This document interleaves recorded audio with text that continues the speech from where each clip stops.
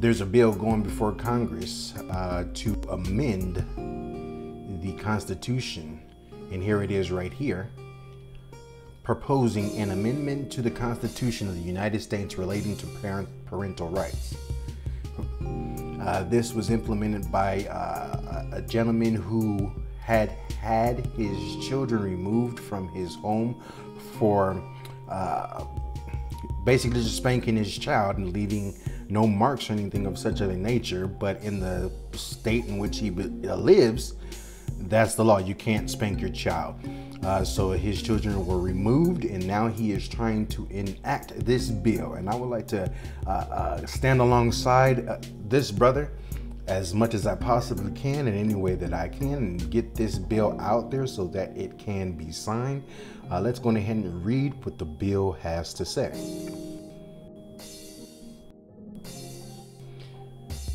This joint resolution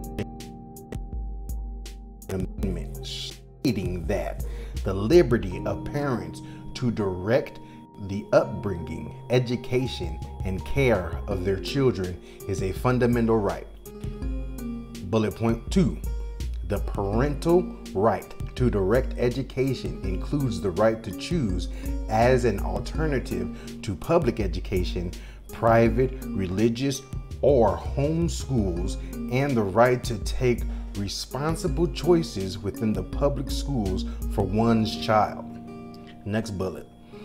Neither the parent, state, nor any state shall infringe upon these rights without demonstrate, demonstrating that its governmental interest has applied to the person is of the highest order and not otherwise served. Next bullet. The parental rights guaranteed by this amendment shall not be denied or abridged on account of disability and uh, next next bullet. This amendment shall not be constructed to apply to a parental action or discussion that would in life.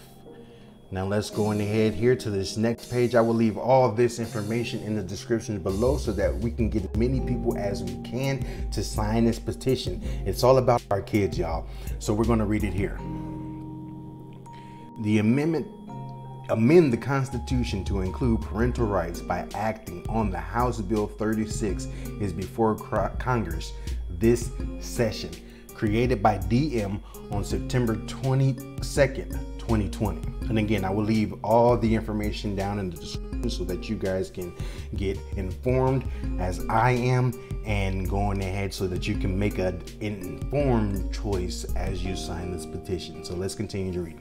Over 5 million American children have been forcibly separated from their parents in the last 20 years, as reported by U.S. Department of HS, HHS Children's Bureau.